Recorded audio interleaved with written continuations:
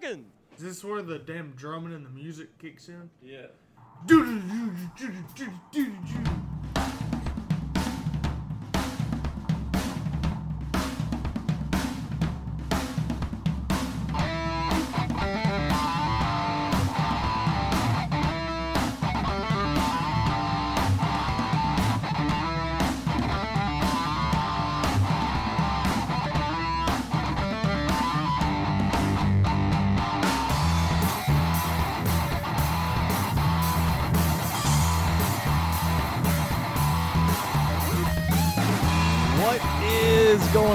Everybody? Hello and welcome back to On the Pipe Podcast. I'm your host, as always, Tyler Shepardson, and today is Wednesday, September the 25th, 2024, years after zero.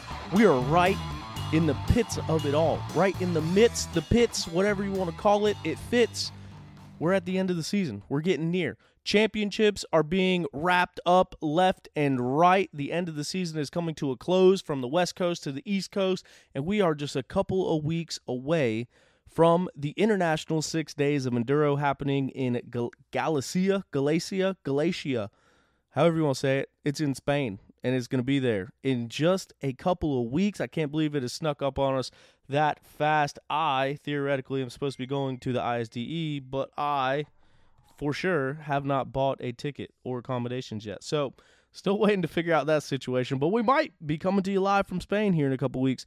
I guess only time will tell. We got a bunch of things to talk about. We we're finally at the point where we're going to have to address some silly season rumors. That is right. We usually talk about this whenever we hear about it, whenever we confirm it, whenever we get some things going on. But uh I will say, part of this episode, we're going to talk about results. We're going to talk about racing. We're going to talk about storylines going on in the world today. At the end of the show, I'm going to talk a little bit about non race stuff that's more show related, more personal related, is what it is. But a little bit of that is since the podcast and this whole media thing has become my full time job, it kind of changes the way that we have to approach situations.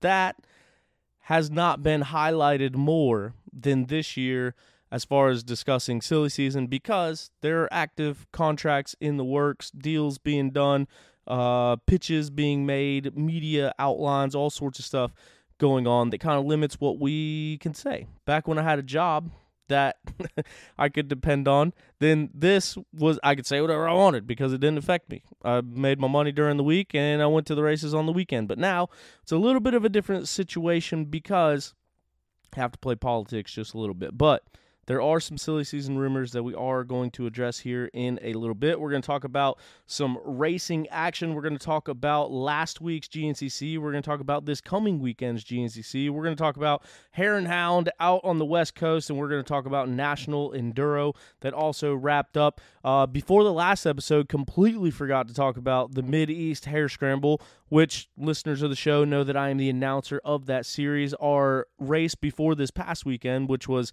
the race directly before the last show or the weekend before the last show was at Wellborn Farms, which, if you don't know, Wellborn Farms is in Boonville, North Carolina. And a big part of that Wellborn family is now the Russell Michael family. That is also where Ranch Russell is, where a lot of the KTM, Husky, and Gas Gas riders either currently train or used to train or still do train. But um, yeah, it's kind of that area where Caleb lives close by. Like I said, his facility is there. Layne Michael's house is actually pretty much on the property. The Wellborns themselves have a deep history of racing as well. So that is where we were racing at. Layne Michael decided to dust the cobwebs off the championship sprint enduro gas gas that he had laying around and came out and raced. And he ended up taking the win and saying that he made the pass for the lead pretty much behind his house in his backyard. So that's how that's how close it was. But that was a really cool race, a really fun race, and a uh, cool race to be a part of. Layne actually came out this past weekend and raced once again, but Brody Johnson would go on to take the win this past weekend in Morganton, North Carolina.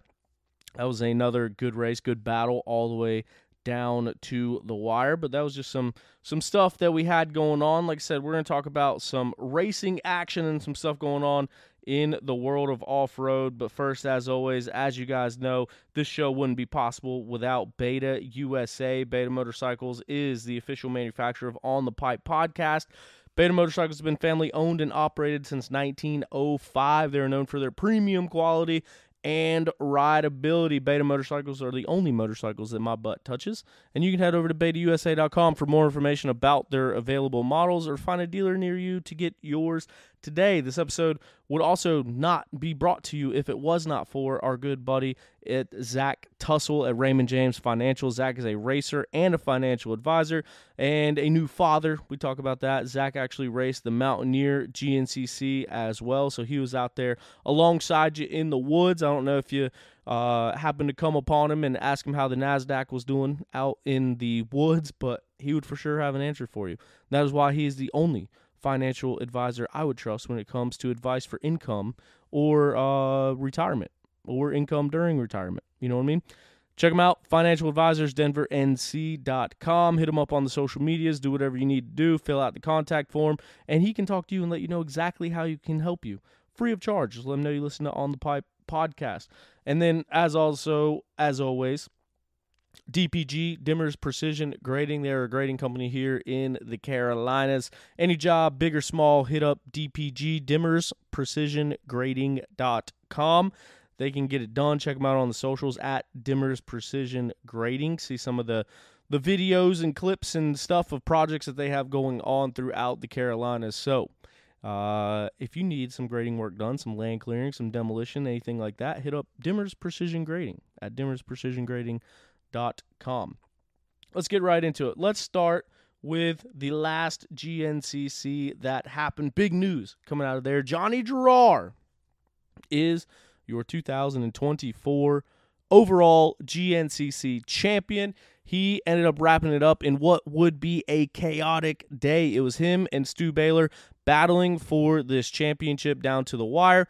The first lap, first or second lap, first lap, I think Johnny had a crash that would take off pretty much the entire clutch system on his bike. So he had to go back to the pits, replace the entire clutch system, the master cylinder, the line, the lever, all of that. So, second lap, when they came by, all of a sudden we start seeing no Johnny. Where's Johnny? And that's when we found out he was actually back in the KTM pits getting his bike sorted, which opened the door for Stu Baylor to gain some very valuable, much needed points. Stu Baylor didn't get the best start, but started making his way through the pack the best that he could, and then ended up riding behind some riders and then in the dust. One of the worst conditions I've ever seen for a race. Just to throw that one out there. If you watched any of the videos, if you watched our YouTube video, the race recap, or you watched online, uh, however you saw anything from the race, it was dusty. And if you were there, you know exactly how it was. If you weren't there, picture the worst dust race you've ever raced, multiply it by two, and then you would have the Mountaineer. Obviously, you can't control the weather, but up there, man, it's just it's so silty. It's such light dirt. Like a lot of times down here in the Carolinas, or when we're racing in clay, or a lot of other places. For the for the fact of the matter, that dust will kind of settle.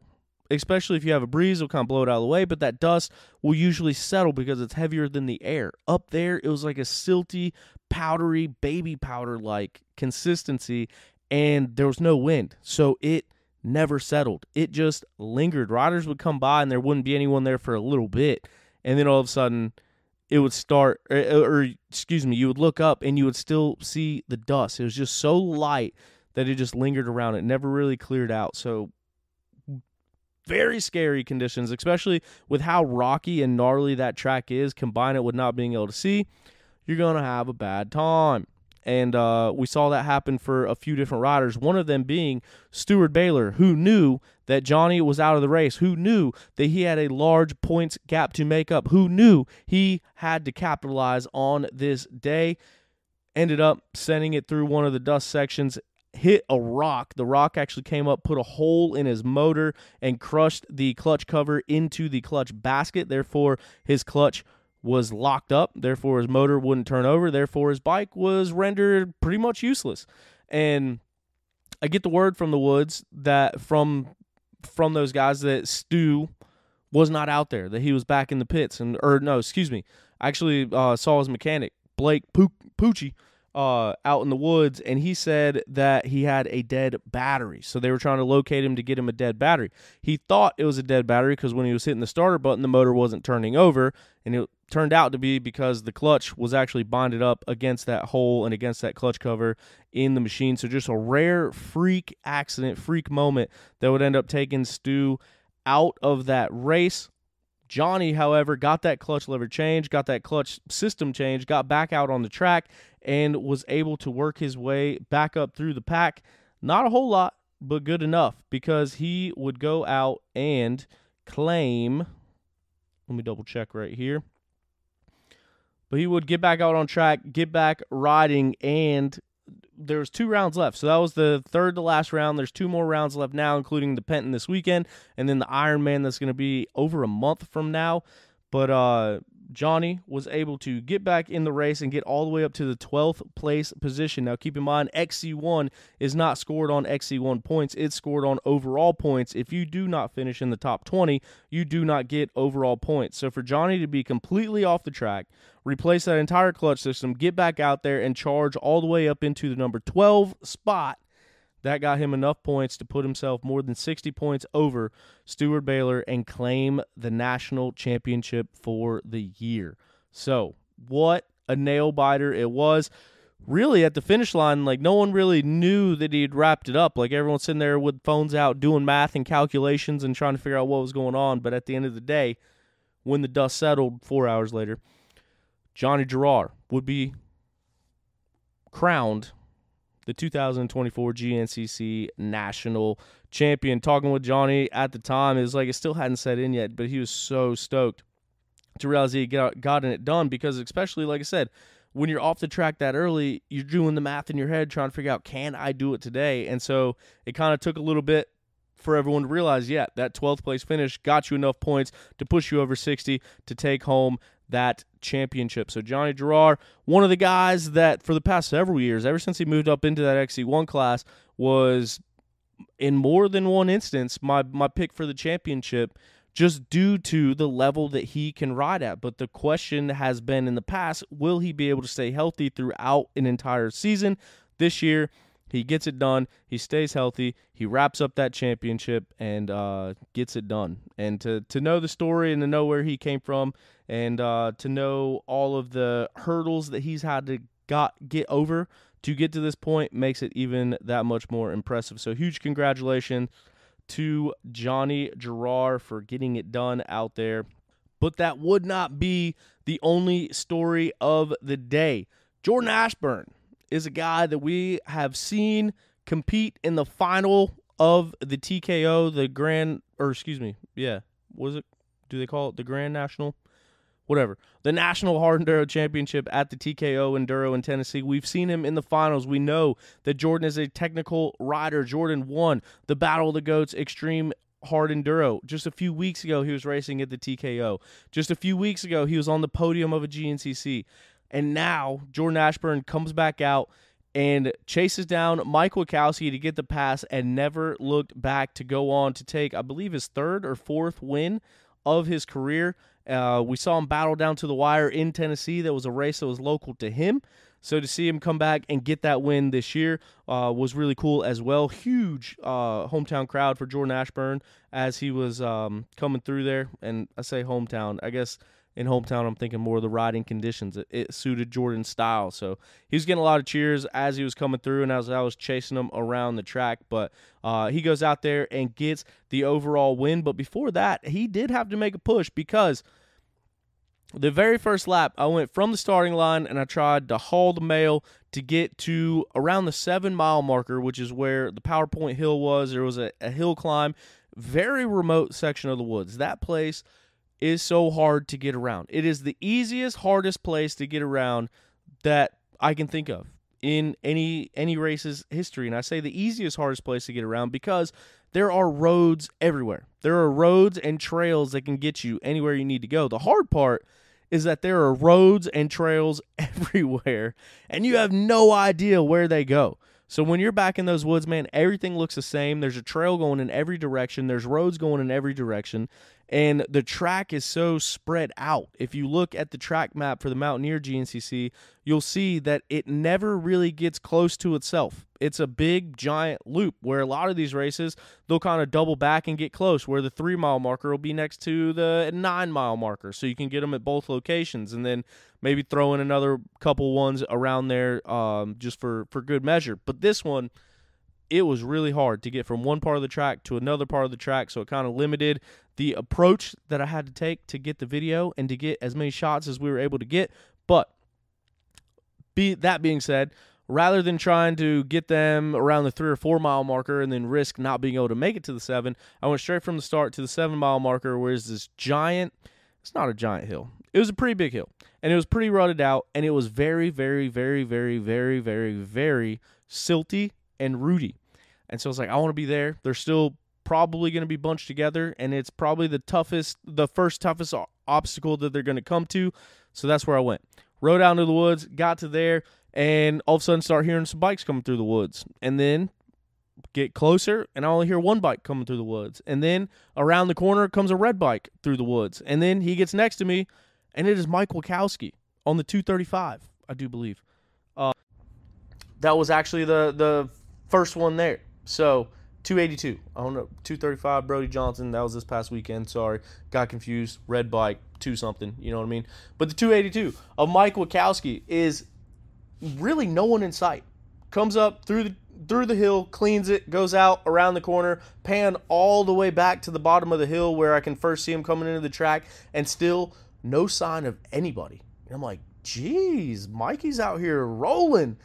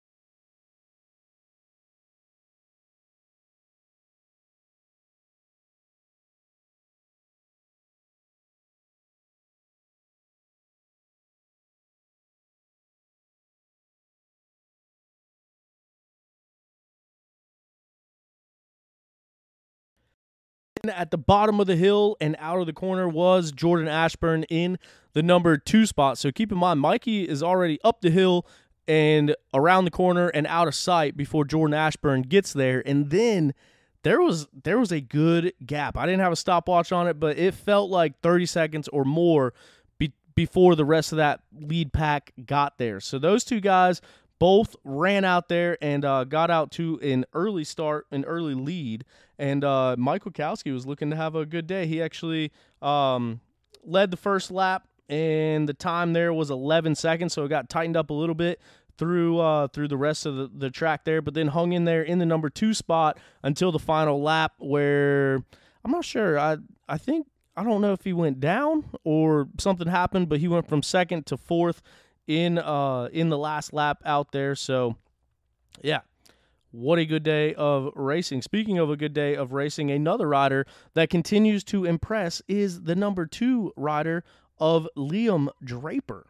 Liam Draper, the reigning XC2 champion, has made his way up into the XC1 class, as we all know. And there there's no way that we don't know because he's managed to put himself on the podium in his first two races on the big bike. And he talked about it on the podium, said that he loves riding the 450 a lot more rather than wringing the 250's neck out, trying to get every bit of power that you can out of it. And uh, that goes to, to prove to be true in his riding that we've seen here over the past couple of races. So Liam Draper with a second place finish on that Yamaha, getting it done. And then in the number three spot is a name that is very familiar with this program. He is a friend of the show. He is a North Carolina local. But one name that we have not been saying a lot on the podium here in a while, I think two years even, was Trevor Bollinger. Trevor Bollinger, one of those guys on the bubble, trying to look for a ride for next year, trying to make things happen, trying to prove he can stay healthy and prove that he can get those results. He's had a couple good showings at the National Enduros, and now he comes back out to GNCC Racing and gets it done. Finishes the day third place overall on the overall podium, on the XC1 podium, and Nowadays, it, it's an even bigger accomplishment to say you made it onto that overall podium because Grant Davis clicking off an overall win. Grant Davis clicking off multiple overall podiums. Grant Davis was the closest person besides Bollinger to being on that overall podium and talking with him sounded like he actually went down at the finish line, like with the finish line in sight went down, had to pick his bike up, get back going again, and that might have been the difference in the time. It was only two seconds between Trevor Bollinger and Grant Davis for that final overall podium position. So Trevor Bollinger able to nudge him out and take that podium spot, which XC1 podium would have been sweet. That overall podium makes it even sweeter for Trevor Bollinger. He came through and just the sign of relief. That is the the best way I can describe it. Just the relief that seemed like it overwhelmed Bollinger. He actually came through the scoring line and ghost rode his bike off into the banners and then followed his bike, went and sat down next to it, which we got on camera as well. So um, if you haven't yet watched the YouTube video from the Mountaineer, it is up on our YouTube channel you can see that conversation and uh, see Bollinger coming through and looping or not looping the bike out, but ghost riding the bike and just that uh, that overwhelming sense of relief that we're talking about. So that is your top three XC1 and top three overall riders. Jordan Ashburn took the win. Liam Draper in the number two spot, and Trevor Bollinger with a third place finish on the day. In the XC2 class, we mentioned Grant Davis, the points leader. Grant Davis, the guy that took the world by storm this year. He would click off yet another XC2 win. He was close to wrapping up the title, didn't quite get it done, but has the potential to wrap up that XC2 title this year. And when he got up on the podium, and kind of the, the word that we're hearing is that we might not see Grant Davis defend the number one plate in the XC2 class. It sounds like all things are pointing towards him moving straight into the XC1 class. He said, Hey, boys, I've won one of these races before. I've been on the overall podium. I ride in that XC2 lead pack every single race, just about. I think it's time to get off the, the small bore and get onto the big bike. So it does seem like it is trending towards Grant Davis. If he can wrap up this championship moving into that XC1 class, will we see him in the XC1 class at Ironman? I guess that is yet to be determined. But Grant Davis, we we've talked about him several times this year. Took all the way until Ironman last year to get an XC2 podium, and then he came in this year swinging and shocked. I think everybody, maybe everybody, but himself, by the results that he has been able to get this year. He has been on the XC2 podium at every single round this year. He has won seven races. One, two, three, four, five, six, seven races this year. So Grant Davis, what a turnaround from last year to this year. Um, a dominant run this year by Grant Davis in that XC2 class. And if he does move up to XC1, what a treat we are all in for next year. The biggest and probably most decorated XC1 class that we've ever seen, all happening right in front of us. We've talked about we I mean we went through the years of four riders in XC1, five riders in XC1 and like 30 riders in XC2 and now we've seen this transition of so many XC2 riders that have made their one made their way into the XC1 class. Grant Davis coming off of an excellent XC2 year. If he moves straight into that XC1 class, it's only going to make it that much more competitive along well maybe some other stuff that we're going to talk about here in a minute about that XC1 class. You know what I mean? So uh, yeah, Mike Witkowski would end the day fifth place overall after a great ride of his own. Evan Smith in sixth. Nick DeFeo in the 250A class, seventh place overall. We talked about Nick several times this year. Nick has been on the program earlier this year because of his impressive results. Last race, we saw him wrap up the 250A championship. That gets four drops for those amateur classes this past weekend, or excuse me, yeah, last week, the weekend before last, the Mountaineer GNCC, we saw him get a seventh place finish, another 250A class win, and that would wrap up the overall amateur championship for the year. So overall amateur gets two drops, but all the amateur classes get four drops. Nick needed that one, just two races left. He wraps it up in the perfect amount of time. You need 11 races. He did it in 11 races, and we will, I believe, see him on an XC2 machine this weekend. He is another guy that could not wait to get to the XC2 class. He doesn't want to stay in 250A. I if I'm willing to bet, he probably didn't want to race 250A this year. I think he actually said that on the show, so I don't think that's privileged information, but he's excited to get that XC2 class, and he can prove that he can compete. He would have been second place in XC2 starting from the 250A row, which this past weekend or this past race with all of the dust made it that much harder for him to charge into that number seven spot. He actually led the, or no, he was third place overall there for a couple laps. So be excited to see Nick DeFeo in the second row and be able to get some clean air and see what he is able to do with the XC2 boys. The second place XC2 rider did go to Cody Barnes, um, who had a fantastic ride of his own. And then Jonathan Johnson on a beta factory racing beta machine would go out and grab the final podium position. It was a battle that came down to the wire over him and his brother, Brody Johnson, who we saw them under the same tent, under that same beta rig for a little while this year. Brody Johnson now back on a privateer Honda program, was running in that number three spot, and I think blew his bike up on the last lap. So Brody Johnson putting together a solid ride, but it would be Jonathan Johnson on the two smoking beta that would end up in the number three spot, the final XC2 podium rider of the day. Take a look at the XC3 class, and it was none other than another beta machine, Jack Walker, going out and taking the win. That is a battle that is within a couple of points of each other, and it is going to come down to these last two rounds of who is going to win that championship. Will it be Jack Walker? Will it be Dakota DeVore? Jack Walker started early with a few wins. Dakota DeVore has taken over the class since then. Jack Walker gets back out in front. He is your overall points leader, but when you factor in drops, I think he's actually down four or five points. So that's why I said this one's going to come down to the wire. We're going to need these last two races to determine our XC3 champion. Jack Walker back in the win column, though, and Dakota DeVore in the number two spot.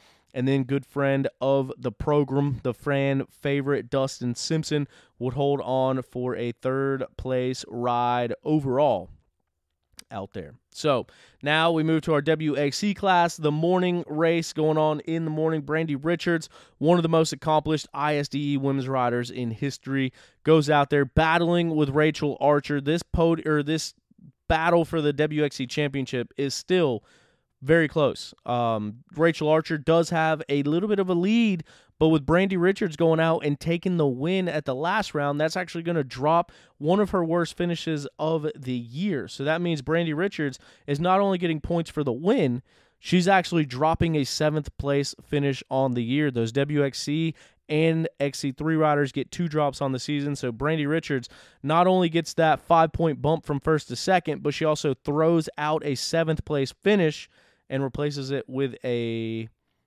third, I think, at the in the grand scheme of things. Um, because oh, excuse me, a fourth, because now she'll have a fifth and a fourth, so she can get on the podium again. She's going to drop that five, and her worst finish will be a fourth, which is a huge points swing. So that is the way that it shakes up. Rachel Archer was uh, battling back and forth. That was a, a tight battle between those two ladies. Brandy Richards would end up making a pass there on the last lap. I think, oh, Rachel Archer actually had a crash there on that last lap. She went straight from the checkered flag to the SOS medical tent with Dr. Tanner to get herself looked out, looked at. Obviously, she was fine because she went out and won the National Enduro this past weekend and wrapped up that championship, but a brief little scare there after she went down on the last lap. Brandy Richards will take over the lead and get it done. Rachel Archer in the number two spot, and then Prestin Raines would grab her second podium finish of the year with a third place spot. Korie Steede still nursing a shoulder injury. She was the one closest to Rachel in the points. She was one point ahead of Brandy Richards heading into this one, but Korie Steede She's been vocal about it on the podium. She, I, I, can't remember if it was separated or dislocated her shoulder, but very clearly still having some some drawbacks from that that shoulder pain, making it hard to ride, especially in those tough and technical conditions that were out there last weekend. She would hold on for fourth place and another couple of weeks to rest to hopefully get back in this thing and get back in the fight as we head into the final two rounds of GNCC racing. So that is how that wrapped up. We are going to fast forward a week and talk about the National Enduro that just took place this past weekend in Oklahoma. That is right. Every National Enduro post that you've seen either had Oklahoma Smoke Show or that Oklahoma Ain't No Love in Oklahoma by Luke Luke Combs, excuse me. Um, so yeah, a lot of lot of Oklahoma themed music this past weekend, and that is because they were racing at the Zink Ranch down in Oklahoma, where Josh Toth would go on to get the win. I believe there was some controversy. I think a test got thrown out when it looked at the results throughout the day. There was a time where Grant Davis was in the overall lead. There was all sorts of crazy stuff going on, but five tests ran for the pro riders. Uh, so one test inevitably was thrown out. So it scored off of those five tests. Josh Toth would go out and get yet another National Enduro victory of the year and wrap up that National Enduro Championship. So Josh Toth, one of the coolest schedules of anyone out there making a living to ride a dirt bike. He's raced a little bit of everything. He's been to Hawaii to race. He's raced hard enduro. He's raced moto. He raced at Southwick. He's raced J Days. He won a GNCC and set GNCC history by winning it from the second row. He raced several GNCCs this year, but the one series that he has competed for in points was that National Enduro Series where he's had a dominant run this year, and he takes it away from Steward Baylor Jr. And one of the interesting things to note about that, I think it is eight consecutive years in a row that the National Enduro champion had the last name of Baylor. Between Stu Baylor and his five championships, Grant Baylor and his three championships, I do believe, Josh Toth is the first one to disrupt the family name and get in there and take a National Enduro title. A solid battle between those two riders throughout the day, but Steward Baylor would come home in the number two spot, won the last test of the day, trying to to put or to gain that ground there but at the end of the day was 22 seconds off of Josh Toth's pace after the five tests were added up. Ricky Russell on the Yamaha would go out and have a good day after we saw him with a little bit of a scary situation at the Mountaineer um, GNCC where his knee either locked up or wouldn't bend. We saw it on camera. They were messing with his knee, trying to get it to bend. They interviewed him. It was a pretty scary situation there, but obviously looks like that thing is back up and going because Ricky Russell would ride his way to a podium finish in that Pro 1 class. Um, I know I'm getting off on tangents, but real quick before we get to that, another injury from the Mountaineer GNCC that could play a role in things that we have to come. Craig DeLong, I believe it was his hand or his wrist. He had a crash, ended up breaking a bone in his hand or his wrist. I think he already did have surgery on it, but Craig DeLong is one of those World Trophy team riders that is supposed to be competing in Spain in just a couple of weeks. A couple of weeks ago, we saw Dante Oliveira break his collarbone where he would get it plated up and then leave it to wonder, hey, is he going to be good to go? That was probably more than a month ago. Craig DeLong coming fresh off of this Mountaineer GNCC, fresh off of a surgery, will be able to make it to Spain and help go out there with that US or USA ISDE team as they look to repeat as champions and build on that success that they built from last year. Hopefully, he will be able to be good to go and uh, compete over there in Spain. But back to the Zink Ranch in the number two spot, Will Steven Piper on that RM Red Bear Racing team would go out and get his first ever Pro 2 class victory with a fifth place finish overall. So shout out Will Steven Piper putting de- putting together consistent times throughout the day, able to hold on and get it done and grab his first win. He's had a lot of success in that Pro 2 class this year. Put it all together and grabbed the win in that Pro 2 class. Nick DeFeo, we saw him in that Pro 2 class as well. He would end the day second place on the day and then Bubs Tasha rounding out your Pro 2 National Enduro podium this past weekend in Oklahoma. Taking a look down at the women's elite class, Rachel Archer clean swept them, won all four scoring tests of the day to wrap up that women's elite national enduro title. Shelby Turner in the number two spot, and then Prestin Raines. What do you know? At back to back podium weekends, podium at Mountaineer GNCC, podium at the Zink Ranch National Enduro. So that's how things shook up out there. Also, last weekend, the weekend of the GNCC, there was another round of the AMA National Hare and Hound Series. So we're going to talk about that real quick, go over those results because out in front, what do you think it was?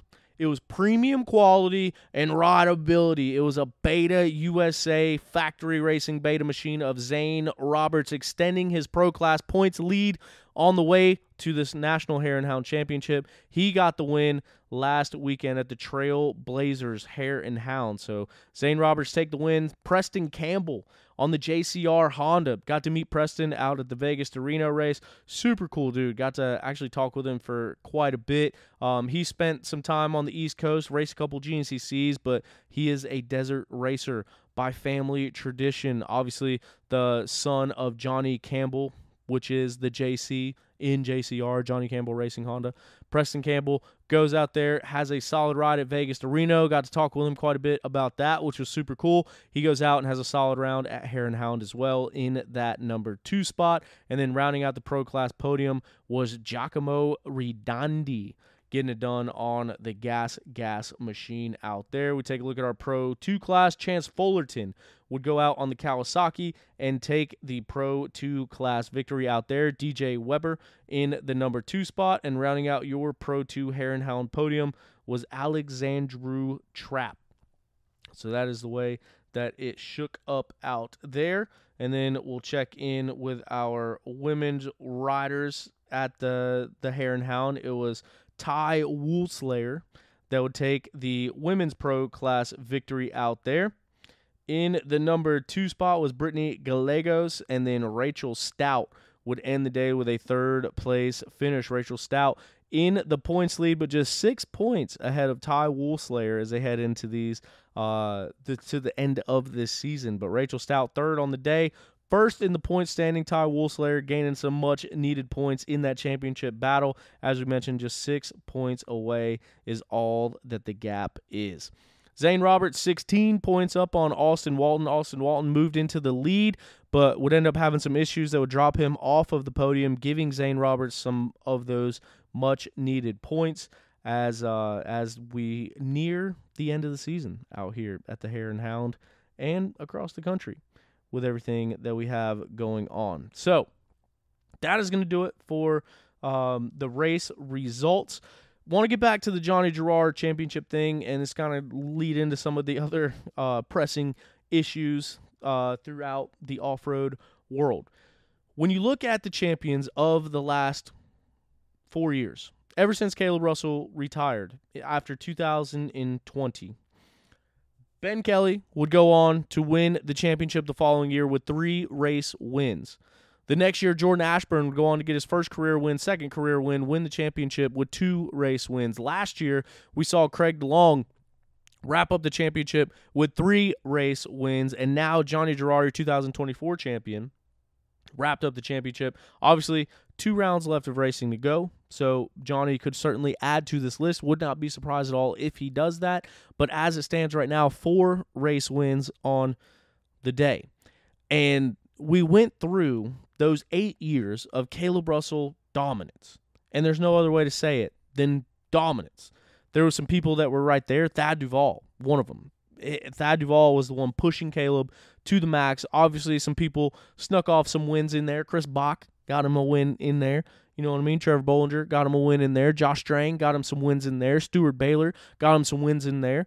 Eh, there was some parity throughout the races, but when you look at the overall standpoint of it, you look at the race wins, and that's kind of why I, I wanted to just kind of look at something because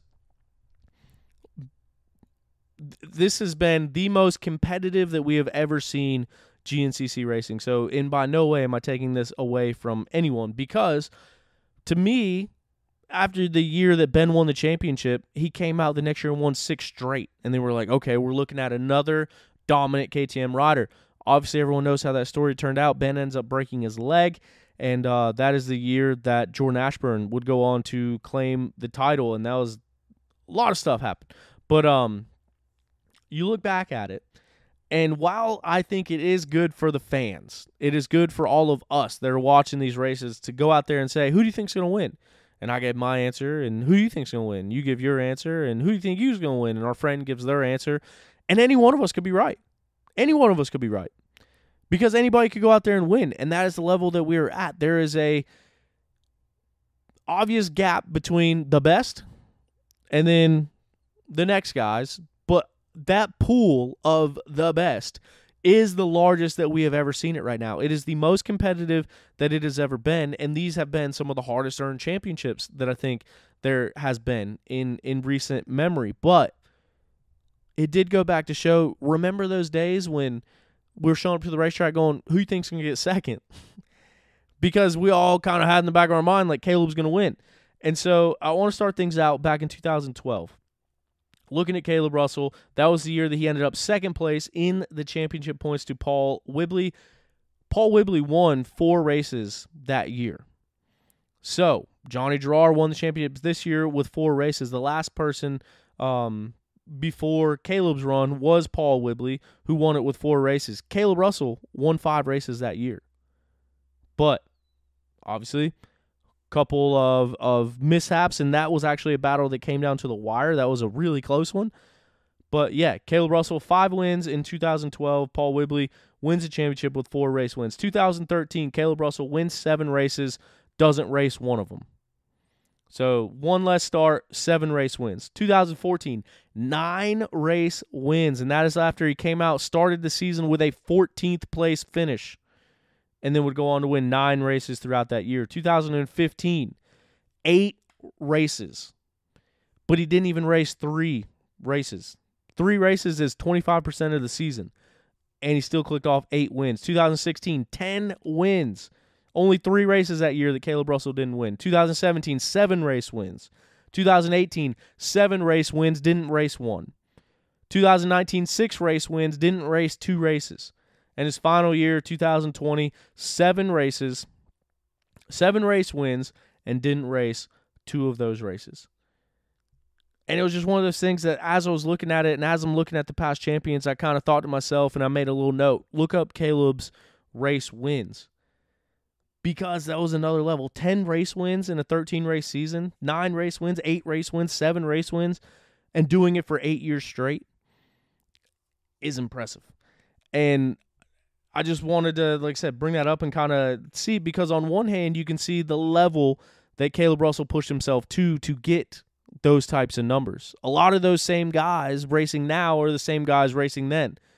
But as I mentioned, for us as fans, the parity of it all kind of is one of the most exciting things about it. We don't know who's going to win. We don't know who's going to have a good day. And now Liam shows up and gets on the podium two straight rounds. And Stu Baylor is always a threat for a race win. I wouldn't be surprised if Steward Baylor wins everything for the rest of the year. I'm just being honest with you. Both the championships are wrapped up. National Enduro got wrapped up this weekend. GNCC got wrapped up last weekend. Now that takes the pressure off. Stu Baylor is a guy that we have seen with an immense amount of pressure. I don't think that we can look back in history and see someone that's had more pressure on him than Stu has had these past couple years, trying to start a team, trying to run a team while being the premier rider, while being the rider that's selling sponsorships for that, both off his name, image, likeness, and who he is as a competitor, and also being the one at the negotiation table doing it. Not to mention nine riders under that tent, and Stu Baylor is accounting for them all. He's lining up the logistics. He's lining up the brace bikes, the practice bikes, the parts, the riders, the meals. Stu Baylor is cooking on Fridays and Saturday nights at the GNCCs after pedaling the track, coming back when it's dark out to have a team dinner. That most of the time he has been cooking while going out and trying to be one of the best riders in the world. But now both of those championships are wrapped up. That is the pressure. That is what they ride for. That is what everyone's goal is. And now that pressure is gone. So when you look at so many things that he has spread out throughout his mind and everything that he has to accomplish, and now you take away the two main goals, and that is National Enduro Championship and GNCC Championship. That I think in some way, and this is not coming from Stu. I haven't talked to Stu about this, and it could be completely wrong about it. But that takes those two biggest pressures off your shoulders. And now you're racing for win bonuses and you're racing for next year and you're racing for some solid results to finish out this year. I would not be surprised if Stu Baylor comes out and wins GNCC this weekend, wins the next National Enduro, wins the next GNCC. Wouldn't surprise me one bit because now that pressure is gone and he can get back to riding his dirt bike the way he knows how. So, I don't know. Random side note, just possible prediction uh, for the for the rest of the season. But um yeah, I forgot where I was going with all of this. Let's take a moment to gather our thoughts. But uh yeah, just just looking back at the past couple years and that leads me into one of the biggest silly season rumors in history.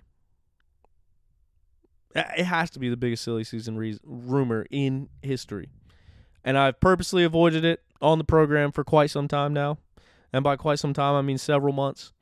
And that is because of some of the reasons that we talked about at the beginning of the show the politics, the relationships, all of that.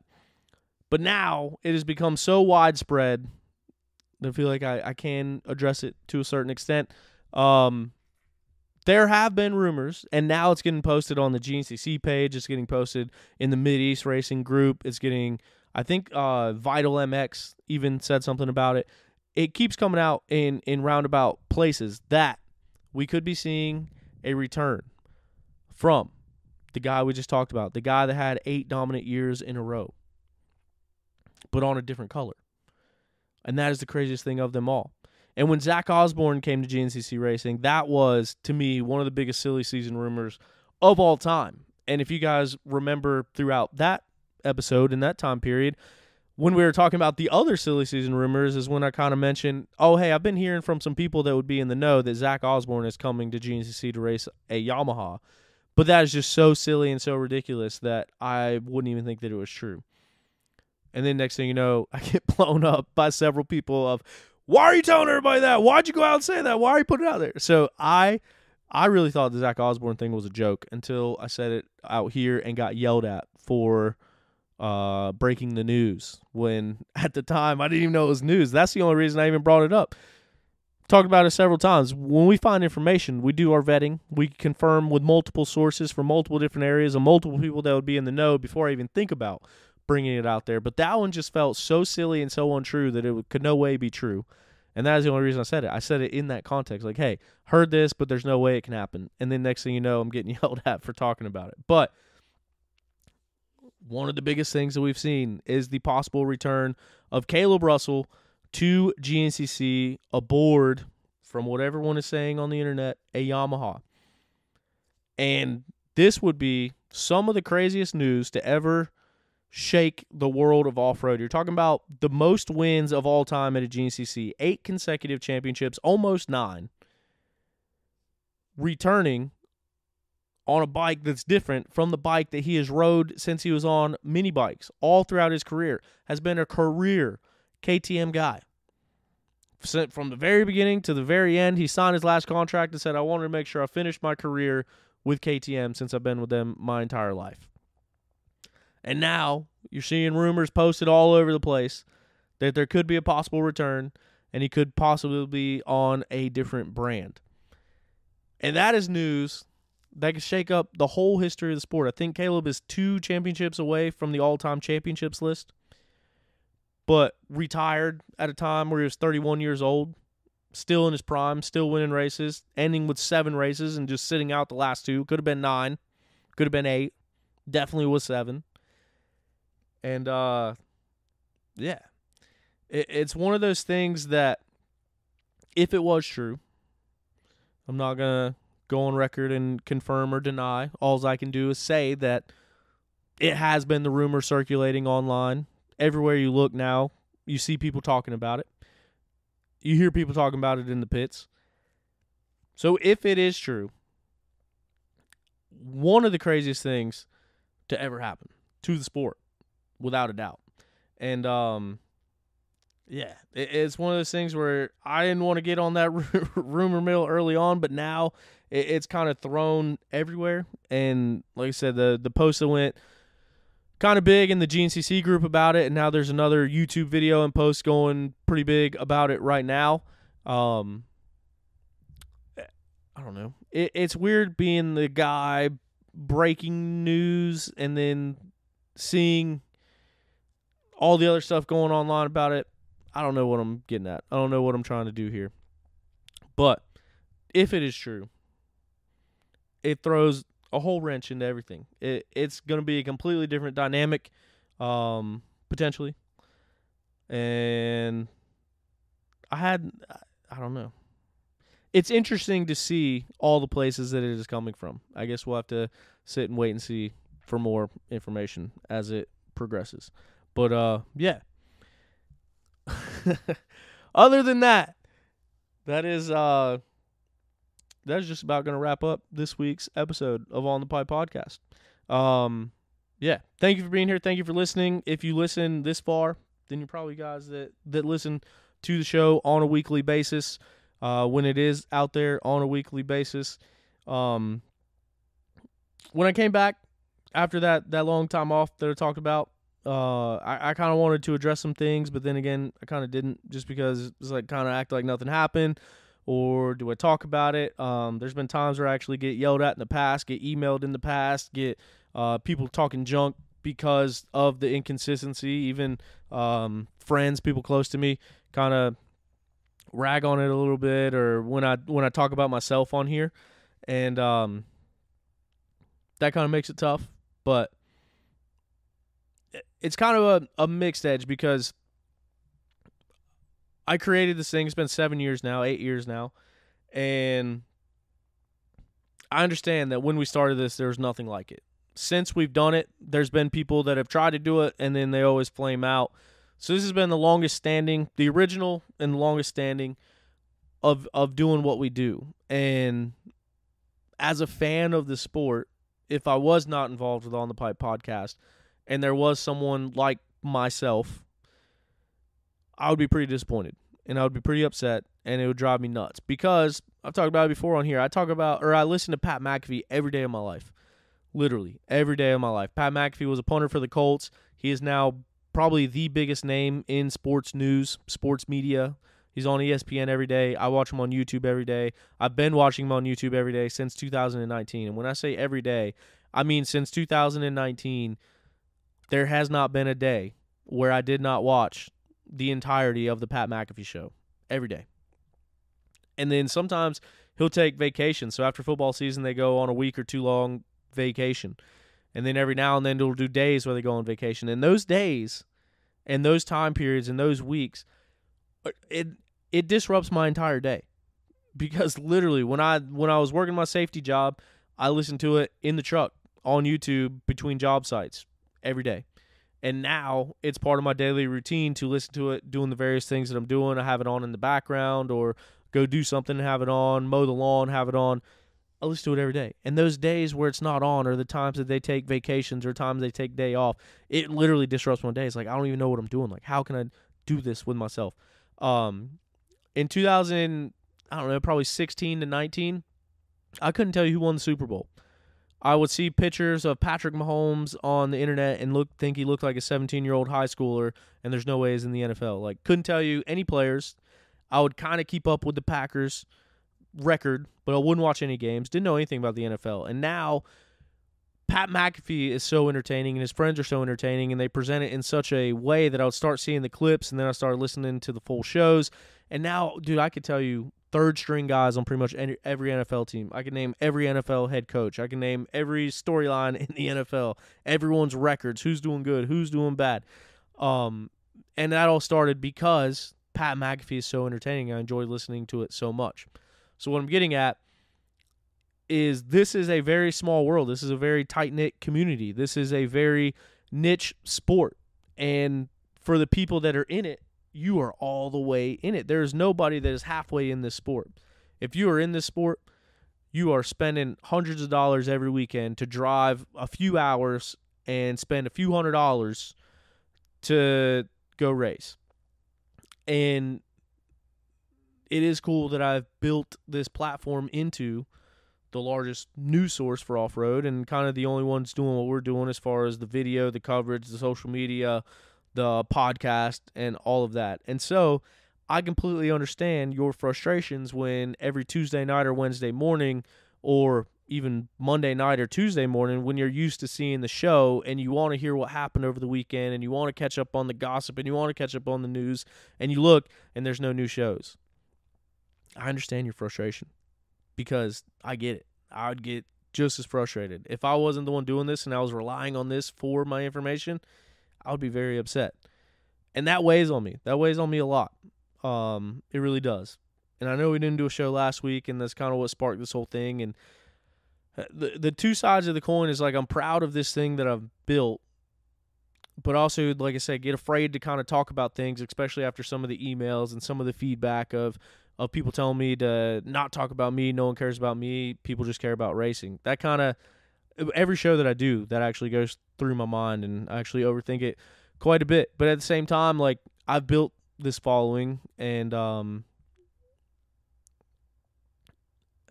I guess part of me wants to use this platform that I've built to talk about whatever I want to talk about without fear of getting reprimanded or out, without fear of the negativity. But then part of me also understands that like hey, this isn't for me, this is for these off-road riders and the the people in the off-road world. But then the other side of me, the third side is you guys have invested your time into listening to this. And that is why I didn't want to talk about it at the beginning like I normally do because if you made it this far in the show, you typically listen to all the shows. And so you're really the people that I'm talking to. The people that hear that I talk junk about someone one week so they get on to listen to that one soundbite and get off, don't apply to them. But the people that are listening to all of these shows and listening to this point in a random show um, and giving me another chance after taking another week off and then coming back and, and listening to the show. You guys you are the ones that i'm that i'm speaking to with this. And so the that third part of me is that even though i'm kind of afraid to talk about myself on here for fear of no one caring or fear of people getting upset um I also feel like I know I owe everybody an explanation as far as why you get used to listening to these shows and then all of a sudden they disappear. And um yeah, so it's kind of a, a double edged sword on on what to do in that situation. But I mean, to be completely blunt, like I and I believe I've talked about it before on here, like I I deal with depression. Um and it kind of feels weird saying that. I don't know if I've ever directly said that on the show because I just felt incredibly weird when I just said that into a microphone right now, but um, I do. I, I deal I deal with depression quite heavily, um, and I always have.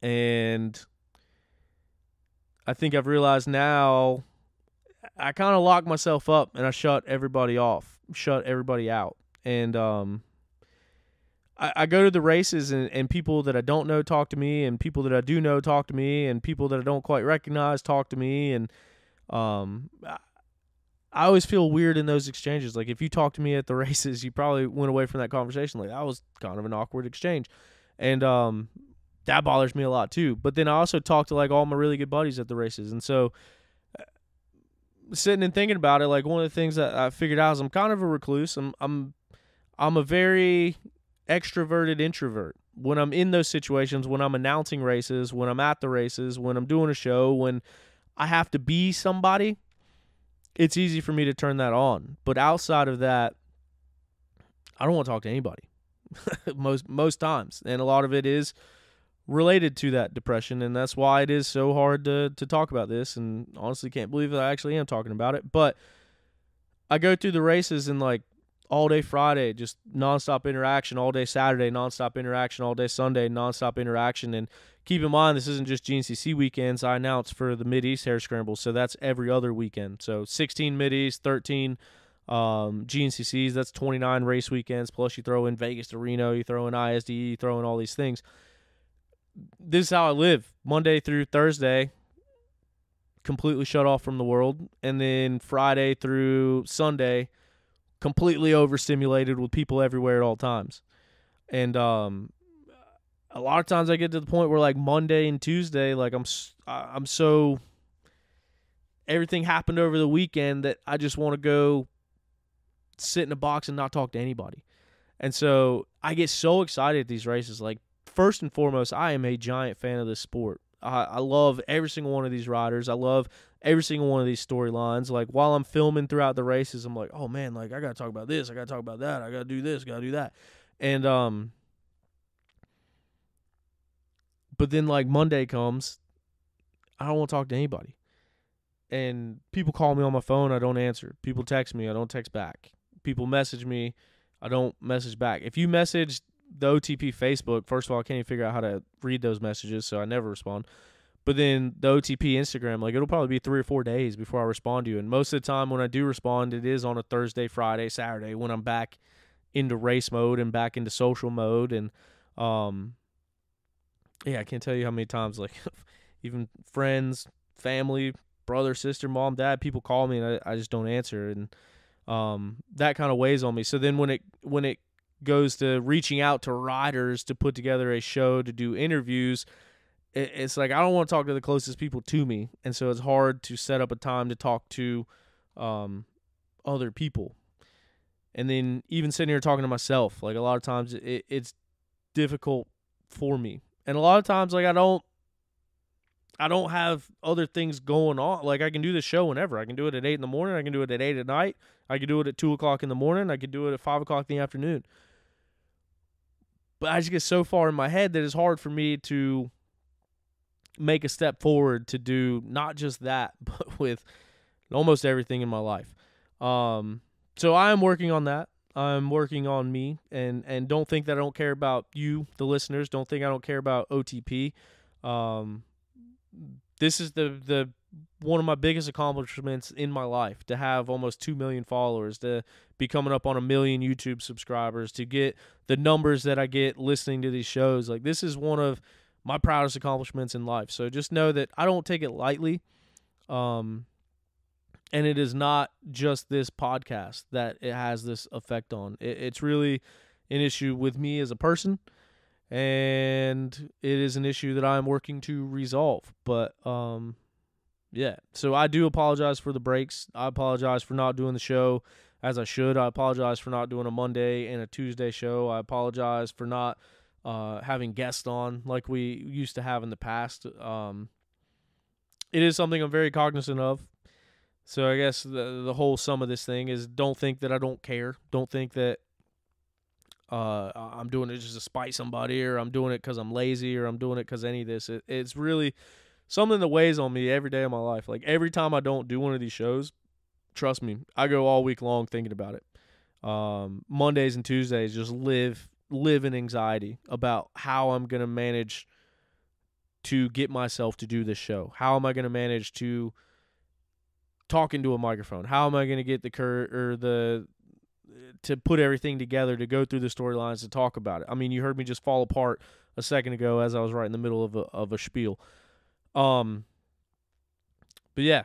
So sorry if this part of the show bored you. Sorry if this part you're rolling your eyes at. Sorry if any of you think any less of me as a person now. Um, but like I said, if you made it this far in the show, you are a core listener. If you are a core listener, you deserve to have some sort of explanation about the show's spottiness, and uh, that is the that is the best that I can offer you. And it's a little bit of vulnerability for me, and it's not it's not an excuse. You might hear it as an excuse. Um, like I said, it's not just the podcast. It, it trickles to a lot more things that I have going on right now. Um, not to mention my brother lived with me six brain surgeries this year. My dad two neck surgeries, going in for another neck surgery. Um, October third, actually, which is my mom's birthday. Um, and there's some other stuff. I don't know. I don't know. I don't know what the point of was this, but uh, yeah. Hopefully, hopefully, uh, didn't put you off as a listener. Um, yeah, I will do everything I can to be better at this. But thank you for listening. Thank you for the support. Thank you for being here. Thank you for listening to OTP.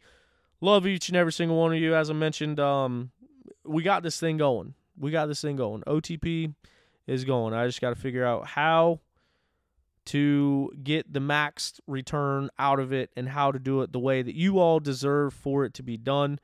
Because, like I said, I'm a huge fan of this sport. I know that you are all huge fans of this sport, and I know that OTP fills a hole that is much needed in the sport. I just got to figure out how to do that on a more consistent basis. So, thank you for being here. Thank you for listening. Thank you for tuning in to On the Pipe podcast. Sorry about it, but uh, we'll see you next time. See ya.